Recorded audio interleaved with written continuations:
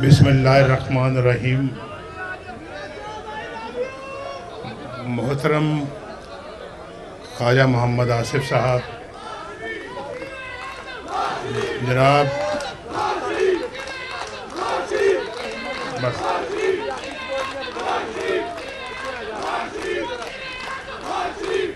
जनाब प्रोफेसर साजिद मीर साहब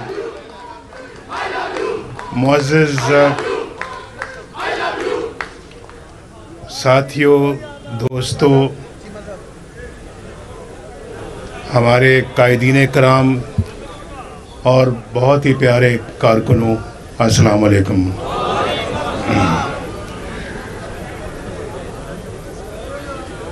इस घर से, माशाल्लाह, बड़ी खूबसूरत यादें वाबस्ता हैं।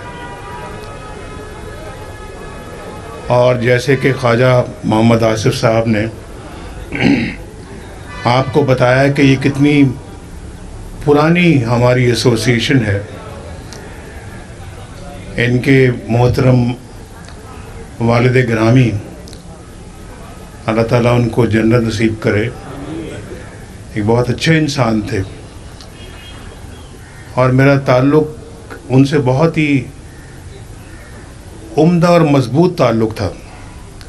मुझसे बड़ी बहुत प्यार करते थे। और मैं उनका बड़ा एहतराम करता था। ख्वाजा साहब से मेरा ताल्लुक़ कॉलेज के ज़माने से है और वो ताल्लुक़ अल्लाह ताला के फजल करम से किसी ठेस के बग़ैर आज तक अल्हम्दुलिल्लाह चल रहा है। और ख्वाजा साहब ने भी मेरे साथ निभाई और अल्हम्दुलिल्लाह मैंने भी ख्वाजा साहब की निभाई। और निभाना चाहिए एक दूसरे के साथ। मैं आपके साथ भी निभा रहा हूँ।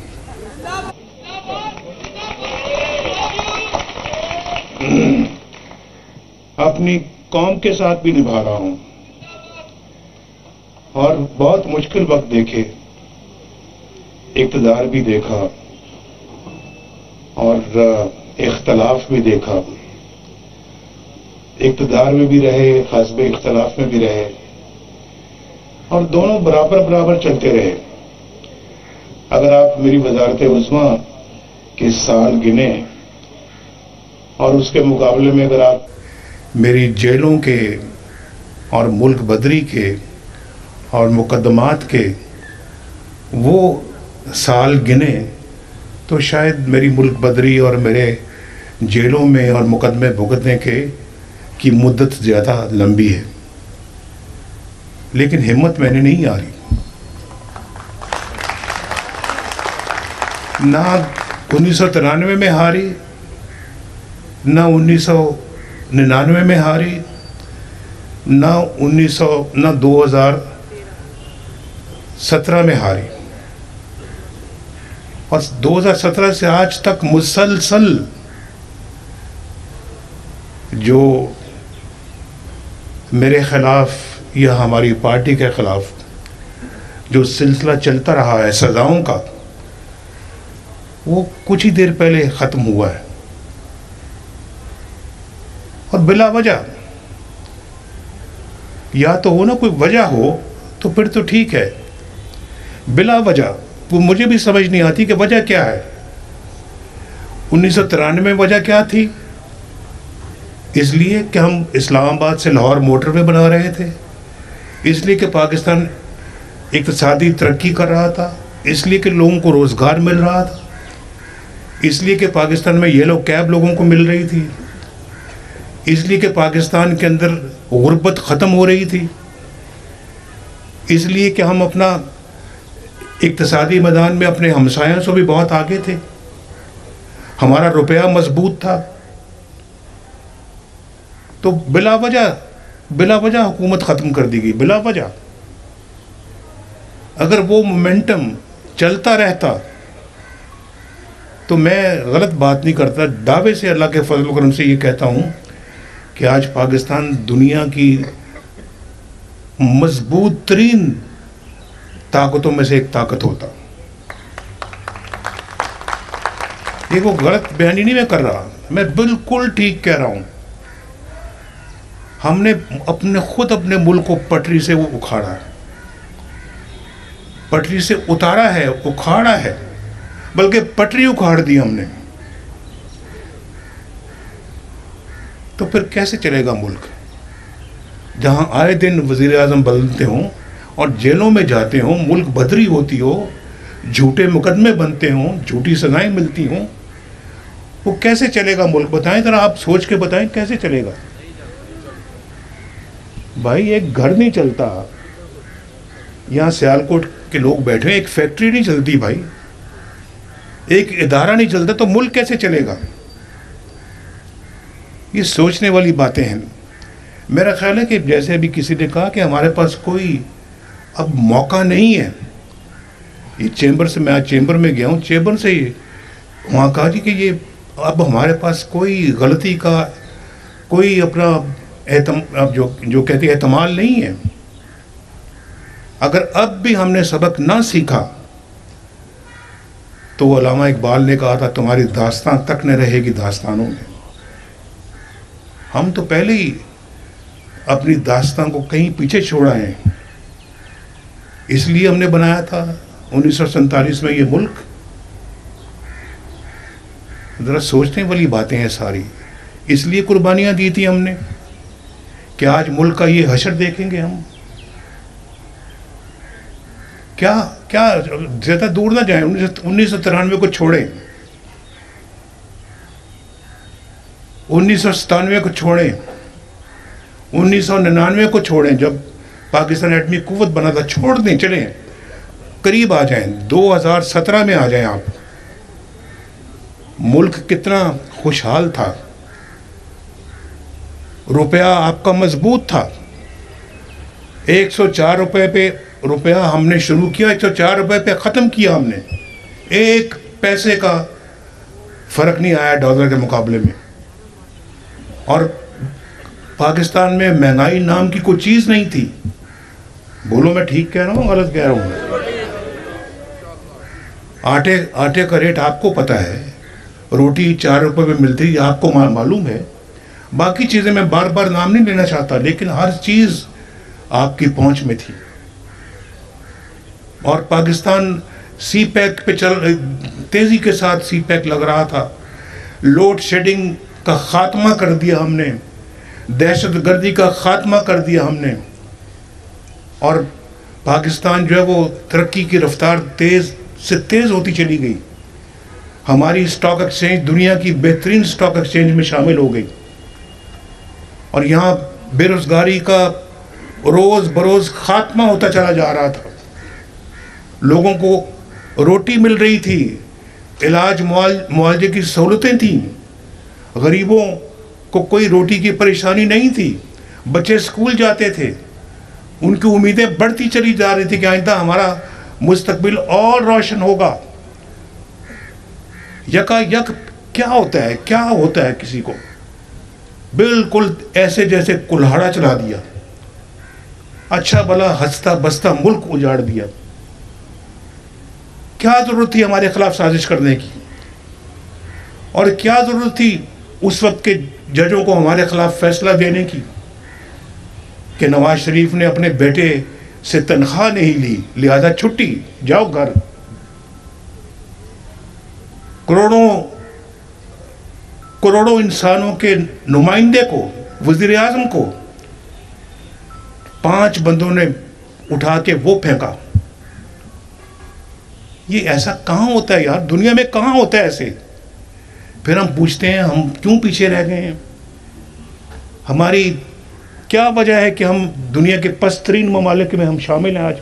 कोई भी आप ग्राफ उठा के देख लें, किसी लिहाज से, किसी भी लिहाज से, तरक्की के लिहाज से खुशहाली के लिहाज से, कानून के लिहाज से, और फिर क्राइम रेट के लिहाज से, और भी बहुत सारी बातों के लिहाज से आप देखें, हम फहरिस्त में सबसे नीचे पाकिस्तान का नाम आता है।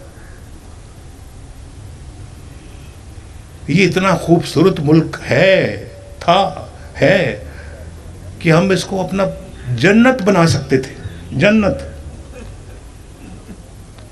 इतना इतना यहाँ लोगों, यहाँ लोगों के अंदर एक माशाल्लाह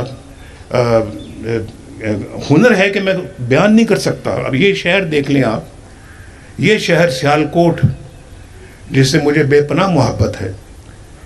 इस शहर के अंदर इतना पोटेंशियल है तरक्की का कि ये अल्लाह के फजल करम से दुनिया के एक बेहतरीन तरक्की याफ्ता शहर बन सकता है। अपने पाकिस्तान मुल्क को ये बहुत तरक्की याफ्ता बना सकता है।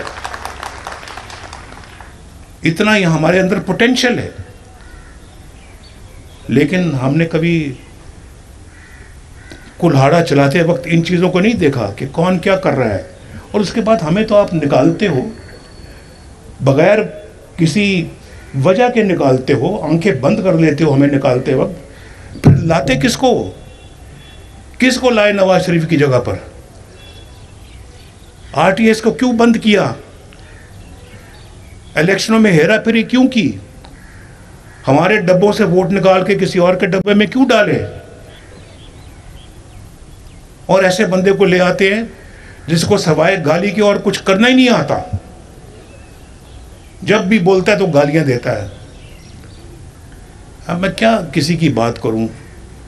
मुझे बहुत यानी कि मैं समझता हूँ कि हमारे मुआशरे को, कल्चर को तबाह तबाह बर्बाद किया। हमारी कौम तो ऐसी नहीं थी। बड़ी अच्छी कौम थी हमारी। आज उसकी इसलाह की तरफ़ हम सारा वक्त ये सोचते रहते कि हम अपनी कौम की इसलाह कैसे करें हम। और जो मुल्क का हल हो गया है, मुझ जैसा बंदा दस दफ़ा सोचता है, दस दफ़ा सोचता है कि अपने मुल्क को किस तरह से दोबारा डगर पे लेके आए। हम बार बार गलतियाँ करने के के जो है वो नहीं ठीक है। ज़रा खामोशी इख्तियार करें। हम बार बार गलतियाँ करने के मुतहमल नहीं हो सकते। लेकिन अब सुन ले मेरी बात। मैं बहुत कुछ है, मेरा दिमाग भी उन बातों से भरा हुआ है, दिल भी भरा हुआ है। दिल ज़ख्मी होने के साथ साथ जो है वो उसमें अफसोस भी इस बात का है कि हम क्या बनने जा रहे थे और क्या आज बन गए हैं। लेकिन मैं आपको ये बता रहा हूँ कि जो कुछ नुकसान हो गया है, वो बहुत भारी नुकसान हो गया है। लेकिन उस नुकसान को रिपेयर करना ये भी आपकी और मेरी, हम सब की एक फ़र्ज़ और ड्यूटी है। इसको हर कीमत पे हमने पूरा करना है। अपने मुल्क को हम इस तरह के लोगों के हवाले नहीं कर सकते, जो हमारे मुआरे को बिगाड़ दें, हमारी कदरों को बिगाड़ दें, हमारे कल्चर को बर्बाद कर दें। बिल्कुल नहीं। हमारे साथ जो हुआ वो हुआ है। जुल्म हुआ है, हमने बर्दाश्त किया है, लेकिन कभी हमने पाकिस्तान के इंटरेस्ट के खिलाफ कभी कोई काम नहीं किया। और ना कभी करेंगे।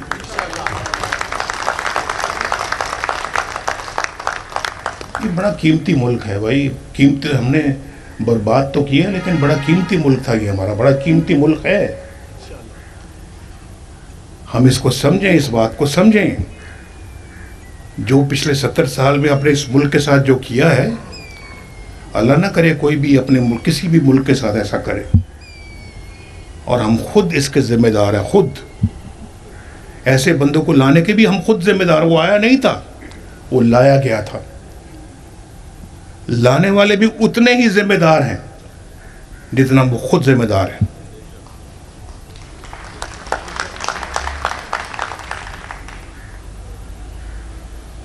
तो मैं ये समझता हूँ कि एक आ, आ, बड़े अरसे के बाद कई सालों के बाद जब ये मोटरवे भी शुरू भी नहीं हुई थी उस वक्त से आ, मैं आपसे मिला था आके तो आज उसके बाद दूसरी दफ़ा मिला हूँ मैं। और मैंने मोटरवे की बात यहाँ बैठ के की थी और देख लो मोटरवे बन गई अल्लाह के फजलों पर।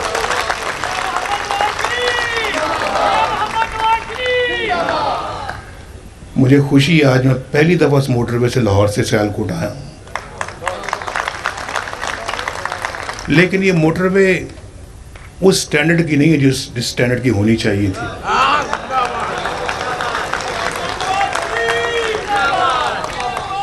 मैंने मैंने ये बात ख्वाजा साहब से भी की है कि मुझे तवक्को नहीं थी कि ये मोटरवे इस तरह की बनेगी। अगर मैं सर पे होता तो मैं इस मोटर को इस तरह से ना बनने देता। और आपने देखा है कि कहीं मोटरवे नीचे जा रही है, कहीं ऊपर चढ़ रही है, कहीं उतराई है, कहीं खाई है, कहीं कुछ है। ना कोई रेस्ट एरियाज़ हैं, ना किसी जगह को बाथरूम है, ना कोई रेस्टोरेंट है। ये तो उसको तो लाहौर, इस्लामाबाद मोटरवे से भी एक बहुत बेहतर मोटरवे होना चाहिए था। लेकिन लेकिन लेकिन ठहर फ़िक्र न करें। बहुत खुशी होती है देख कर के सियालकोट में एक बहुत अच्छा मैं सियालकोट में एक बहुत अच्छा हवाई अड्डा है। एयरलाइन भी माशाल्लाह बन गई है। और अब इसको और भी अच्छा एयरपोर्ट बनना चाहिए। ये लाहौर, कराची, इस्लामाबाद के लेवल पे आना चाहिए इसको।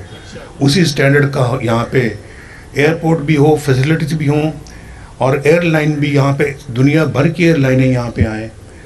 और आज अगर ढाई बिलियन डॉलर की एक्सपोर्ट करता है सियालकोट तो मेरी तो ख्वाहिश, दुआ है कि ढाई सौ बिलियन की डॉलर की एक्सपोर्ट करनी चाहिए। सिर्फ़ सियालकोट को। और सियालकोट में वो पोटेंशियल मौजूद है।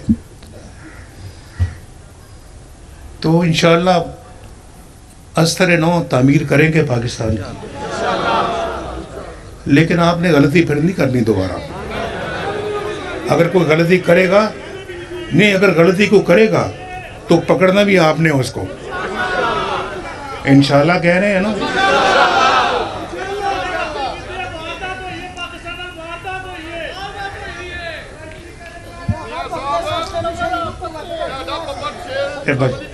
थैंक यू जी, बहुत शुक्रिया।